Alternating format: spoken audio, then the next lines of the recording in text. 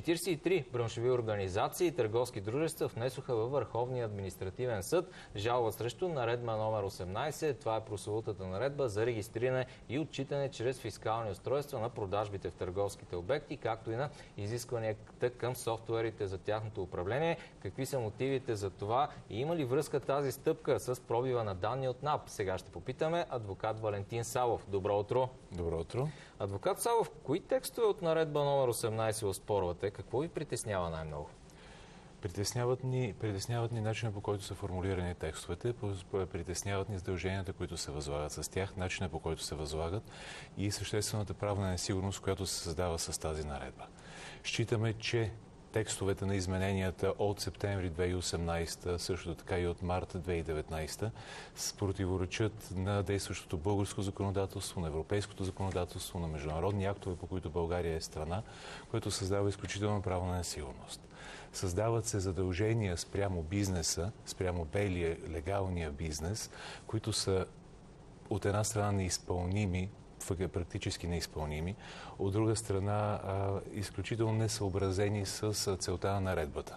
Кои са, кои са неизпълними задължения? Дайте неизпълними пример. задължения са, например, тези, които са свързани с промяната на бизнес процеси в самите, в самите бизнеси, в самите предприятия, с изискванията спрямо софтуерите за управление на продажба, с задължението на оператори, които не, не говорим само за малки и средни предприятия, говорим за големи международни компании, които имат представителство в България, да променят изцяло своите бизнес процеси, да изпроменят изцяло своите а, софтуерни програми, които управляват не само продажбите, които управляват целите им процеси и репортинг към, към държавите майки абсолютно целият процес в едно предприятие, трябва да се измени, да се сведе, да се, да се промени а, и ограничи до степен, че да отговаря на тази, да отговаря на тази, тази наредба. Защо е, толкова, защо е неизпълнимо? Толкова технически сложно от тези международни компании, за които говорите, не са ли го направили същото и в други европейски страни, където оперират? Не, не, има изисквания в наредбата, които не могат да бъдат, не могат да бъдат преодолени. Това са изискванията, например, за СУПТО, за софтуер за управление на продажбите. Ще кажем да има интерфейс само един, е, да има интерфейс на български язик, да бъдат ограничени тестови, е, тестови, тестовите модули или обучителните модули. Също така, друго притеснение, което е свързано с дефиницията на всеки един софтуер, който управлява по някакъв начин продажби, да бъде дефиниран за за, за СУПТО е, че всъщност по този начин се дава възможност и за достъп до а, много чувствителна информация, за която засяга бизнеса. Казахте, че има и втора група текстове, такива, които са несъвместими с целите на наредбата. Да, точно Та, така. Пък какво имате предвид? Основните цели, които бяха изтъкнати на тази наредба е да се установи по-голям фискален контрол. Фискален контрол може да се установява по различни начини, включително и чрез увеличаване капацитета на, на органите по приходите, тяхната квалифи, квалификация и така нататък, и на техните възможности за такъв контрол. Но а, чисто законодателно тази разпоредба, тази наредба според нас няма да постигне, няма да постигне целите, за които, за които тя е предназначена. Тъй като бизнесът, който и до сега е злоупотребявал с съществуващо законодателство, той не се интересува от разпоредбите на тази, от разпоредбите на тази наредба. Той ще продължи да намира начини да не я спазва. Това, което се получава като реален резултат е една огромна, огромна административна тежест за белия бизнес, който иска, който няма и избор, освен да бъде бял и освен да, бъде, освен да отговаря на всички изисквания на закона. Защо точно сега беше внесена жалбата във Върховния административен съд адвокат Салов? Веднага а, сега ще има спекулации, може би, че сте, уча, че сте един вид а, нали, използвали момента с а, този пробив на НАП и а, с това напрежение, което се получи по отношение на опазване на личните данни, въобще на всякаква друга а, стопанска и важна бизнес информация за фирмите, точно сега, за да, да направите тази стъпка? Няма как този момент да е бил използван умишлено, тъй като една страна една жалба не може да се подготви от днес за утре, второ няма как да се пред предвиди такъв, такова събитие. БСК започна инициатива още преди няколко месеца за, за завеждането на, на такава жалба срещу, срещу наредбата и оспорването и пред Върховния административен съд. Беше предоставено определено време за всички организации, браншови и дружества да се присъединят към жалбата. След това беше при, предоставено време, определен период от време, през който всяко едно дружество, всеки един заинтересован можеше да даде конкретни предложения срещу текстовете на жалбата, какво, по какво, кои текстове ги засягат, по какъв начин, как според тях противоречат на законодателството. След това беше предоставен период да се изготви, да се формулира, да се прегледа от всички, да се прегледа от всички заинтересовани от жалбоподателите и да се входира. Беше поставен вход и за входиране, който съвпадна с, с това събитие. Друго, друг много важен момент, е който който изискваше по-бързото и навременното подаване на тази жалба и на отлагането във времето на, на подаването й, е, че 30 септември крайния срок за, за привеждане на всички изисквания спрямо СУПТО, спрямо дейността на, на дружествата е съвсем близо. Тоест от 1 октомври огромна част от дружествата ще бъдат изправени пред дилемата дали да бъдат нарушители, дали да отговарят, дали да затворят своя бизнес. За много, за много бизнеси, например в онлайн, в онлайн магазините, ам, като альтернатива съществува и просто да напуснат България и да започнат да, да създават добавена стойност и продукт в някоя друга държава, а не, а не, а не в България. Какво е мнението все пак за този пробив, който се случи с базата данни на Националната агенция за приходите? Имате ли притеснение, че в бъдеще, ако се случат такива пробиви, много по-важна и чувствителна информация за фирмите ще има опасност да изтече в публичното пространство, защото знам, че с наредба номер 18 точно това ще се случи. В смисъл, НАП ще събира много по-детална информация. Това е едно от притесненията на бизнеса, кое, което е било споделяно, споделяно многократно по всякакви поводи. Наредба 18 изисква предоставянето на изключително широк кръг широка информация. Информация, която е защитена, която е търговска тайна, която е защитена с патентни права, може да бъде защитена, да бъде ноу-хау, информация относно бази данни, които са също са защитени от Закона за авторските права, рецепти, не само за салати, както беше да казва НАП, но също така производствени рецепти, модели, всякаква, всякаква бизнес информация. Това са отстъпки, договорки с клиенти, с доставчици, отстъпки, които се дават, цени по които се купуват, цени по които се доставят. Това е целият един бизнес целият бизнес на едно дружество, което е много интересна а, а, информация. Интересна е за, за конкуренти, интересна е, интересна е за всеки. Тя може да бъде, може да бъде злоупотребявано с нея, а ако не дай си Боже бъде изпусната в пространството, вредите, които, които може да, да, да бъдат причинени, са, са неизмерими. Това, което ни притеснява, което притеснява бизнеса е, е и начина по който а, тази, тази информация ще бъде достъпена. Наредба N18 задължава задължава и производителите на софтуер, и разпространителите на софтуер, и ползвателите да предоставят source code, достъп до базите данни, да предоставят административен профил до базите данни. Защо това е притеснително? Това е да? е притеснително, защото в определени хипотези този достъп до базите данни и обектите в тях може да става и дистанционно. Дори в хода на едно производство, ревизионно производство, например, НАП може да се обърне към разпространителя на софтуер, да поиска от него достъп до вашата база данни с цялата ви бизнес информация и дистанционно да има достъп до нея, да я разгледа и да, и да експортира каквото си хареса от нея. Дори да не експортира, самия факт за това, че има достъп, че може да я разгледа, че там може да има всякаква а, защитена информация, вече е изключително притеснително. И това притеснение ние го, сме го споделяли множество пъти. Какво ви казват и за съжаление, институции? Че, че всички мерки са взети. Но за съжалението този, този инцидент, инцидент потвърждава нашите притеснения че не всички мерки да. са взети, може а и, а и също така трябва да се вземе предвид и следното. Целта на наредбата е наистина да се упражнява фискален контрол. Да се упражнява фискален контрол е необходимо да се получава фискална, фискална информация за всички продажби, за всички фискални дейности, така да се каже, на, на бизнеса. Но, но самата наредба излиза из, извън, извън този, този предмет. Събира се всякаква информация. Точно това ще да ви попитам. Все пак в наредбата няма ли логични и разумни текстове, които да водят до осветляване на приходите, до борба с сивата економика? Всичко ли трябва да се зачеркне? Много месеци минаха, в които държавата и нали, бизнеса загубиха време и енергия в а, напасване на спорните моменти и вие сега искате почти изцяло да отпадне тя.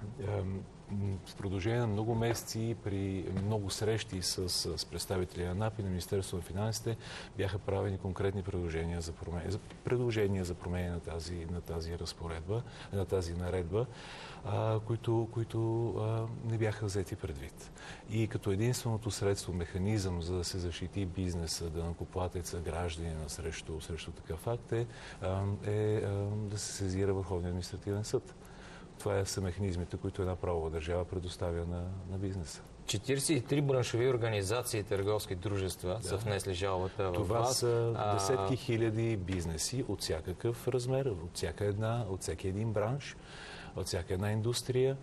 И това са не само български, а и чуждестранни дружества с представителства и бизнеси в България. Това исках да ви питам. Кои видове бизнеси и сектори на економиката се чувстват най-застрашени и съответно са най-активни при, подго... при подготовката на този иск, на тази жалба? Няма, няма, няма ограничения. Няма ограничения, няма и, няма и конкретен, конкретен ам, бизнес, който да кажем този е най, най-застрашен. Всеки, всеки бизнес е засегнат. При извършване на продажби в търговски обекти, при извършване през който се използва софтуер за управление на продажбите, при опериране чрез електронен магазин. В всички тези случаи имаме засягане на, засягане на бизнеса. Кажете за електронните магазини, това е една много интересна тема. Там има нови изисквания за тях, много сериозни, даже част от тях вече влязоха. Какво е най- най-притеснителното? Притеснителното е, че електронните магазини от една страна се приравняват на софтуери за управление на продажбите. Не се взима предвид, че много от, от магазините действат като платформи, които не са на самия собственик на, на, на, е, на магазина, а са, например, предоставени от Amazon или Etsy. Така наречен дропшип платформи. Не само дропшип. В този случай няма как Amazon или, или, или, или Etsy да променят своите платформи само и само за да отговорят на българските изисквания. Какъв ще бъде избора тогава на един електронен магазин? да се измести в чужбина, за да може да отговаря и да продължи да оперира и да продължи да, продължи да работи. Не са взети предвид а, и особеностите на плащанията, т.е. картови плащания продължават да се, да се считат за плащане в брой. Всичко това е изключително много затруднява, затруднява бизнеса. Но пък Финансовото министерство и Националната агенция за приходите често са споделяли, че част от онлайн магазините, да не казваме голяма част в България, имат проблем свързан с недекларирането на приходи. Нека това да бъде адресирано, нека, нека на контролните органи да упражнят своите контролни функции, нека да има правила. Всички, всички жалоподатели и целият бизнес иска да има, иска да има точни и ясни правила, но изпълними, изп... но изпълними правила и законосъобразни правила. А, за бизнеса, който е бял, който оперира законосъобразно, той няма, той няма интерес да има и сива част. Той не може да се конкурира с нея. Всички имат интерес от такива правила, но те трябва да са приложими и изпълними. Нещо друго също видях, че ви притеснява в наредба номер 18 и всички промени, които се направиха и се обсъждат, а именно предвиждане на нови административни санкции и мерки, които са в нарушение на Конституцията. Обяснете. нови административни санкции и мерки, които са в нарушение на Конституцията, казвате, че има а, в наредбата. Предполагам, става въпрос за някакви глоби, които... Не, ам, или имуществените санкции, както и принудителните административни мерки, те са предвидени в закона за, за ДДС. Ние считаме, че те са прекомерни. Считаме, че наистина законодателят и не само законодателят, а и, а и администрацията прекалено много се уповават на мерки, които а, могат да имат по, по-скоро по-големи вреди спрямо бизнеса и спрямо бюджета, отколкото ползи. И една такава мярка е принудителното принудителна административна мярка е запечатването на търговски обект. Тя се използва изключително общо, изключително често за всякакви нарушения. Използва се за нарушения, например, на издаване на касова бележка, за неползване на супто. Запечатване се предвижда вече и в закона за шума, за защита за, от шума в околната среда. Тоест тази мярка изглежда любима. Идеята е да се санкционира, а не да се, а не да се запази бизнеса, да се, да се поправи бизнеса. Запечатваме един търговски обект. Този търговски обект не генерира приходи, не генерира ДДС, не генерира... В смисъл, служителите, служителите трябва да бъдат освободени могат да бъдат освободени. Бизнесът може да, може да затвори, особено ако е сезонен. Така че тези мерки са проблем, който трябва да бъде адресиран. Те се предвиждат не с наредбата, те се предвиждат с, а, с, с, с, с а, закон. Това, което нас ни притеснява с наредбата е, че се предвиждат някои нови, а, как да се каже, са, процедури, които могат да имат характера дори на, на санкция. Какво, какво имам предвид? Например? Да? Например, конкретно. Ако един, ако ам, контролният орган установи, че един софтуер не отговаря на изискванията на, на наредбата, издава акт за започване на процедура по неговата дерегистрация. Този акт се оповестява на всички ползватели на този софтуер. По този начин, в момента, в който имаме един акт, който все още не е влязъл в сила, той не е проверен за законосъобразност, ние оповестяваме на всички ползватели на този, на този софтуер, че евентуално може и да има проблем.